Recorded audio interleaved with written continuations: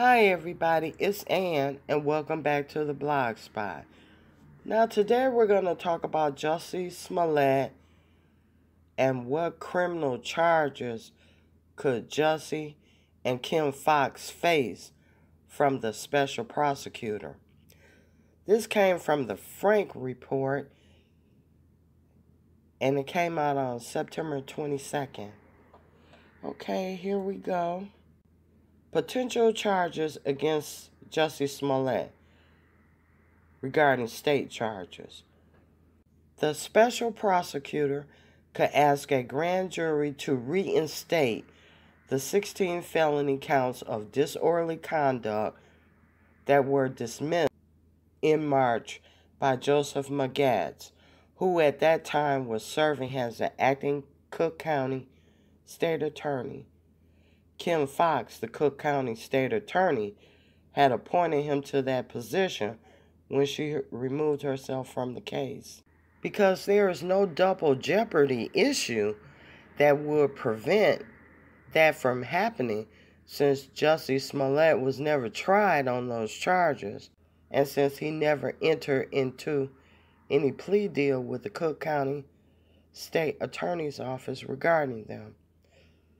In Illinois, a person commits the felony of disorderly conduct when they knowingly transmit or cause to be transmitted to any peace officer public officer or public employee.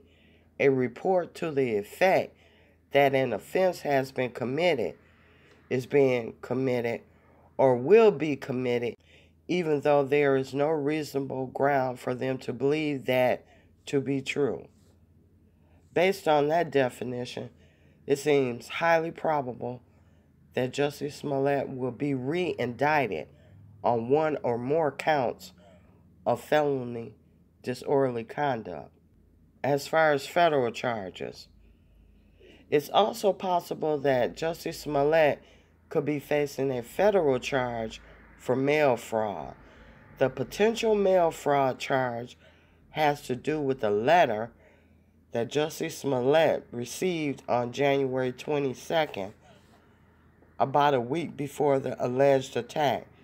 The letter was mailed to Jussie at the Chicago based Cinespace Studios, which is where the show Empire is filmed, and contained a cartoon figure strung up by noose and cut out letters spelling out, You will die black F A G. It also contained a white substance which prompted a hazmat team to respond to the Cinespace Studios and remove the letter and its contents. The white substance turned out to be crushed Tylenol.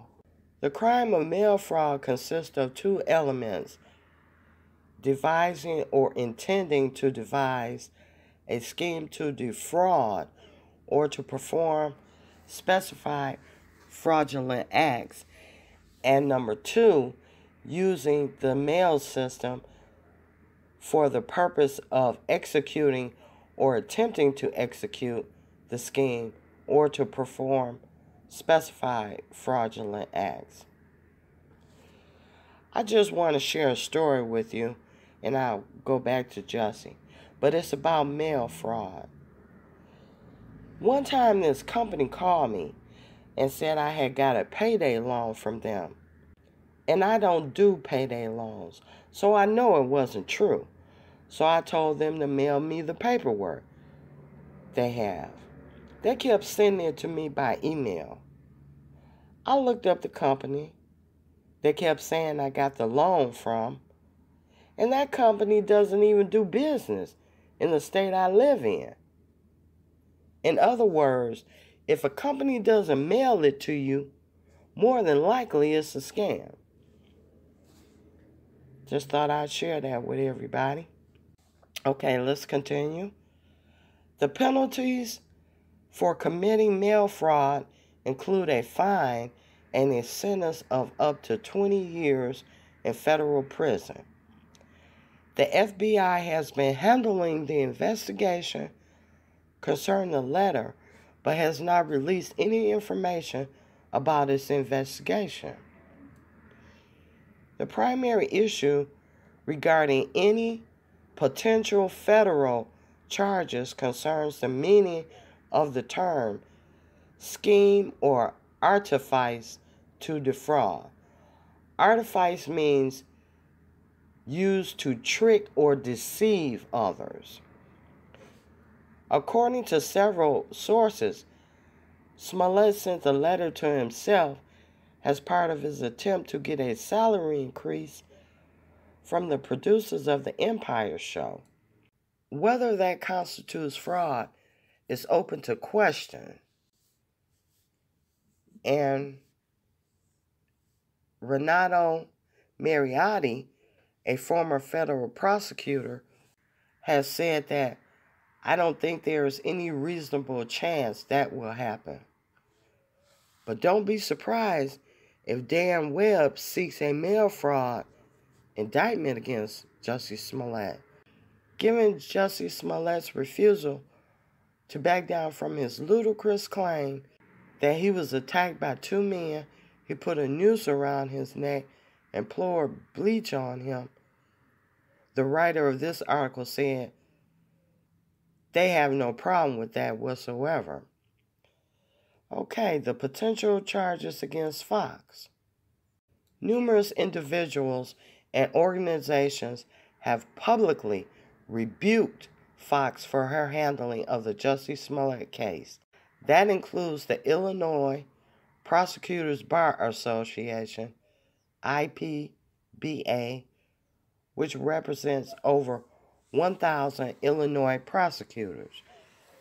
In a statement that was released shortly after the charges against Smollett were dismissed, the IPBA stated the Cook County State's Attorney's handling of the Jussie Smollett case is not condoned by the IPBA, nor is it representative of the honest, ethical work prosecutors provide to the citizens of the state of Illinois on a daily basis.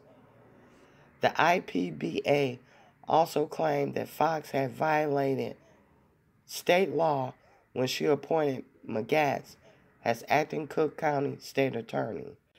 When an elected state's attorney removes herself from a prosecution, Illinois law provides that the court shall appoint a special prosecutor. The IPBA statement read Here, the state's attorney kept the case within her office and thus never actually removed herself as a matter of law. Although it appears that she definitely violated the state law, it's unlikely that Foxx will face any criminal charges for doing so.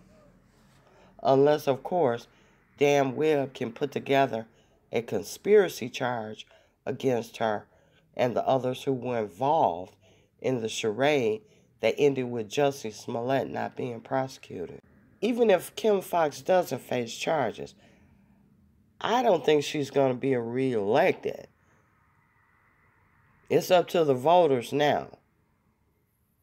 In recent years, Congress and the vast majority of state legislators have passed hate crime laws that are intended to protect people against crimes that are motivated by the state or feeling of being actively opposed or hostile to someone or something or motivation to do something over one or more of their personal characteristics.